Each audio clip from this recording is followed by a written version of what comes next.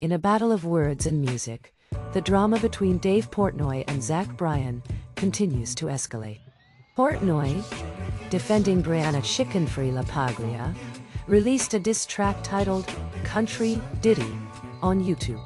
The track accuses Bryan of offering money for an NDA, which LaPaglia allegedly refused.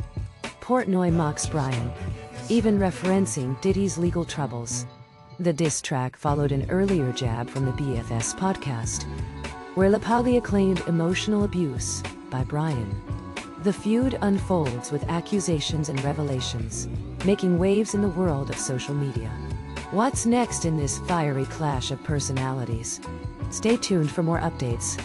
If you enjoyed this news, please like the video and share your thoughts in the comments section below. Subscribe to the channel to not miss any updates on this ongoing celebrity saga.